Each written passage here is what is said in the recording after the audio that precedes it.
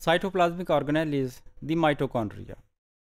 First, the contents, definition of mitochondria, structure of mitochondria, and role of mitochondria in the cell.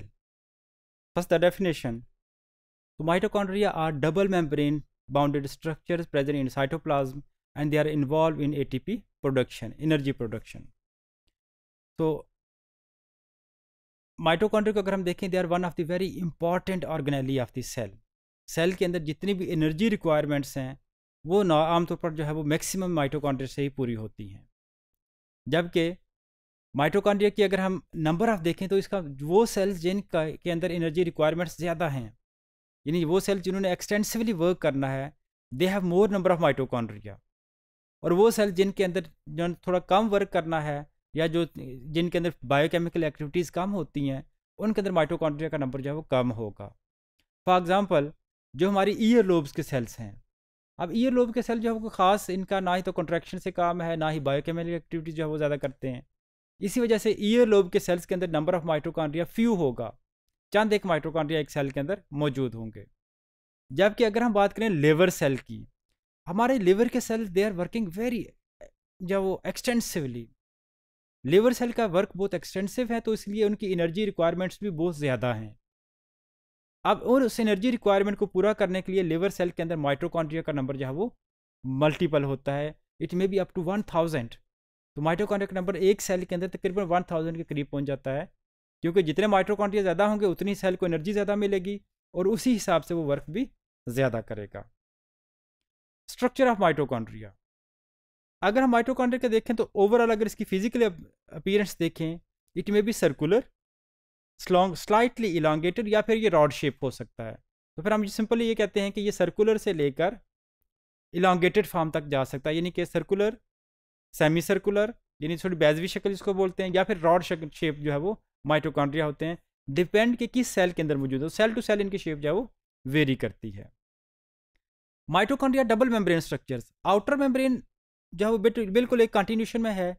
And that is smooth वो बिल्कुल flat in form में मौजूद है। तो outer mitochondrial membrane is flat and smooth in appearance inner mitochondrial membrane और outer के नीचे जो है इनर माइट्रोकॉन्डल मेम्ब्रेन है।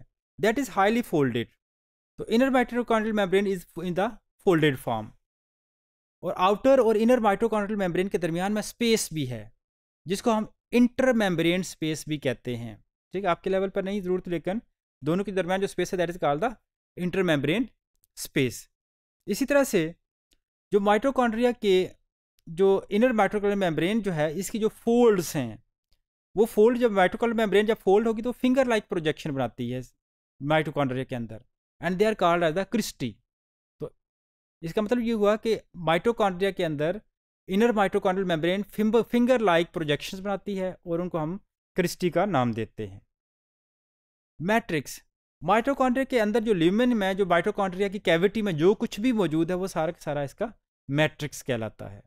अब इसका मतलब है कि अगर माइटोकॉन्ड्रिया के पास जब वो डिफरेंट टाइप्स के प्रोटीन्स हैं ग्लूकोज है, या कोई भी मालिक टी मालिक्यूल्स हैं फैटी एसिड्स हैं, जो कुछ भी माइटोकॉन्ड्रिया के अंदर है, वो सारे का सारा क्या कहलाता है? माइटोकॉन्ड्रियल मैट्रिक्स कहलाता है। तो माइट्रोकॉन्ड्रिया के मैट्रिक्स में इसका मतलब है कि, जो अच्छा माइट्रोकॉन्ड्रिया एक ऐसा ऑर्गेनली है जो अपने आप को रेप्लिकेट करता है, खुद से अपना नंबर बढ़ाता है। यानी सेल डिवाइड करे ना करे माइटोकॉन्ड्रिया खुद से डिवाइड कर सकता है। इसलिए जब सेल को ज़रूरत पड़ती है तो वो अपने सेल अपना नंबर ऑफ़ माइटोकॉन्ड्रिया इन्हेंस करता है, बढ़ा लेता है। अब माइटोकॉन्ड्रिया अपने आप को रेप्लिकेट इसलिए करता है कि उसके पास अपना डीएनए मौजूद है। तो अपने डीएनए के अलावा माइटोकॉन्ड्रिया के पास प्रोटीन सेंथिस के लिए अपने राइबोसोम्स भी मौजूद हैं। राइबोसोम्स साइटोप्लाज्म के अंदर अलग हैं, जो सेल के हैं। इस माइटोकॉन्ड्रिया के अंदर भी राइबोसोम्स जो हैं वो मौजूद हैं, जो आमतौर पर सेल वाले या साइटोप्लाज्म वाले राइबोसोम से थोड़े से डिफरेंट होते हैं। फिर is the structure of ribosome mitochondria अगर हम यहाँ माइटोकॉन्ड्रिया स्ट्रक्चर को देखें this the outer membrane outer membrane जो स्लाइटली ट्रांसपेरेंट फॉर्म में आपको नज़र आ रही है तो ये हमारे पास क्या है कि बिल्कुल स्मूथ है, बिल्कुल फ्लैटन है और आउटर है, बिल्कुल स्मूथ है। अगर आप इनर माइटोकॉन्ड्रियल मेम्ब्रेन को देखें तो ये आपको बाकायदा ये फोल्डेड फॉर्म में नज़र आ रही है।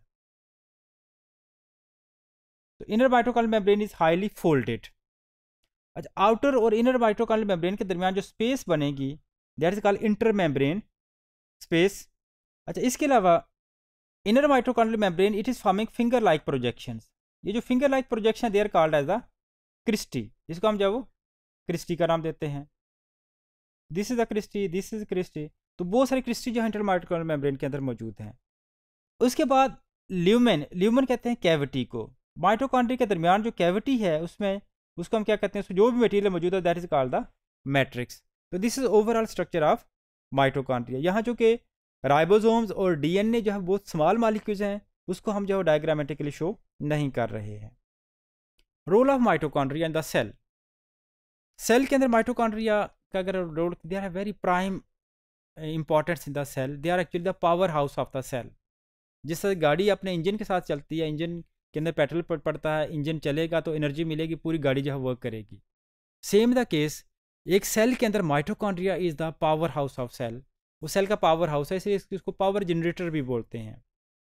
तमाम एटीपी जो है वो मोस्टली माइटोकॉन्ड्रिया प्रोड्यूस करेगा और ए टी पी से फिर तमाम बाकी जो ऑर्गेनाइज हैं न्यूक्लियस है सेल मेम्ब्रेन है गोल्जी है एंडोप्लाज्म रेटिकल में तमाम ऑर्गेनाइज को जो एनर्जी है वो ट्रांसपोर्ट की जाती है फ्राम माइटोकॉन्ड्रिया अच्छा अब एनर्जी प्रोडक्शन के लिए कुछ मेटाबॉलिक पाथवेज हैं जो माइटोकॉन्ड्रिया के अंदर होते हैं। उसमें एक हमारे पास है लिपिड मेटाबॉलिज्म फैटी एसिड की ऑक्सीडेशन जो है वो।